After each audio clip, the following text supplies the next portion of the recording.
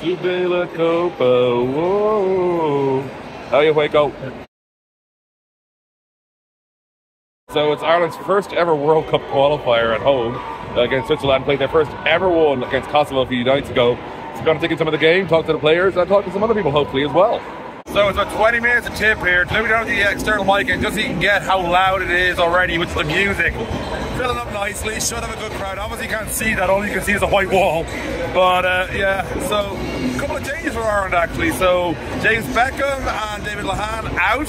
And in are Keelan Cairns and Paul Dick. To me that says Mark is prioritising height. But what do I know?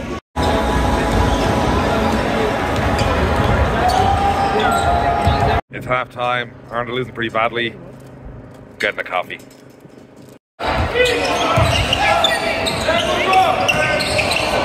So not the result Ireland wanted, but uh, we decided to get a little bit of an insight into. We spoke to Liam Printer, who is a four-time European Schools champion head coach, who was here, though he's from Ireland but lives in Switzerland. Uh, and we got his thoughts uh, of the result. Liam, obviously you live in Switzerland, you coach there. What have you thought about the experience back seeing the Irish team? Yeah, look, I mean, they gave it their best. They got it within five in the third quarter. Got it really close, but the Swiss have some really good shooters, you know, and they just kind of they started to switch it on in the last couple of quarters. I think our offense didn't look like it ever got going. Like it didn't look really smooth. You know, obviously missing some of our best players as well. So it's tough. It's tough, but I really don't think the Swiss are that much better than us. I think we're, we're actually much closer to them than that. So it's pretty disappointing. I thought it'd be closer, but look, they showed up. They shot the ball really well, and we needed a few guys to really stand up, and it just didn't happen today. You know, it's tough though. And so obviously the star man for Switzerland is Anthony Polite, and we figured we had to get his thoughts after this game. Anthony, obviously great result for Switzerland. How do you feel yourself after the game? Uh, it feels good. Uh, came off uh, second win in this window. That was our goal. Everybody played well. Everybody got to play, so I'm very happy. And you saw a good bit at the second and the third. Were you carrying an injury, or what was the plan there? No, no, just rotation. Uh, everybody gets to play, and uh, it was good. And obviously, we've seen lots of you playing BCL this year. What's it like to get that break and to play for the national team? Uh, it's always good. It's always great to play for your country. Uh, it's fun to get back with uh, teammates that you grew up playing with, so it's fun. And like for you, like because two wins out of two, you're the only team with two wins out of two now. Do you feel you made a big step towards getting to the main qualifying? Yeah, I mean uh, that's what we're working towards. That's the goal. So we just gotta keep working and keep getting better. So I'm waiting for the Rapolas us, but as you can see, he's got a bit of a fan club out, out there, all trying to get his autograph after the game.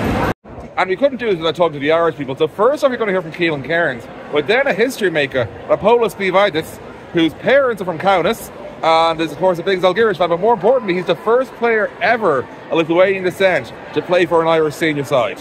Obviously, back in the 12 today, Keelan, what the result you wanted? How are you feeling? I feel alright. I mean, uh, we, we had our moments there, good moments, bad moments, but uh, it still runs this level. It's, it's definitely a step up, especially for us Super League guys. It, it's a step up, and it, your mistakes get punished. It's two, three minute runs. And obviously, the next qualifiers aren't until November, so you're hoping you can get some more games in in the summer with the national side together. Well, it's time together with the group. Obviously, we know each other, but uh, as far as playing each other, like I joined the group Friday evening, I had practice Saturday, and then we're playing today.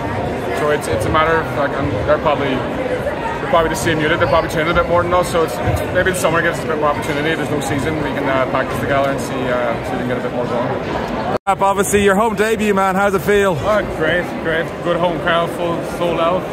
Yeah. And like obviously for you, like you know, you got called into the squad during the week. Like you know, how did you hear about it, and what was your reaction? Uh, so Mark gave me a call a few weeks back. Um, it was great. I was delighted. I was waiting for the call up, so I'm glad it happened finally. And obviously, you're back playing in Tralee, haven't had a bit of time in the US. Are you thinking about what you do next now? you're thinking maybe go to Europe, maybe go back to college? Uh, we'll see, we'll see. I'm still, I'm in college now at MTU, so we got to finish that out first, I'd say. So how, how many years you got left in MTU? Uh, two more years after this, so.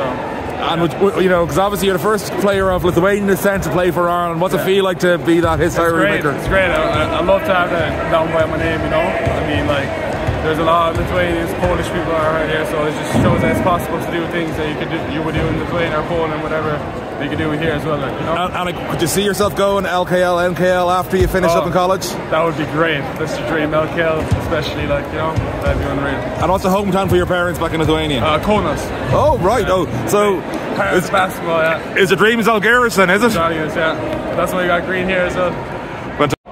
So that's full time here. Uh, not the result Ireland wanted, but listen, good to see the lads back on the world stage. Now it's about getting wins rather than just showing up.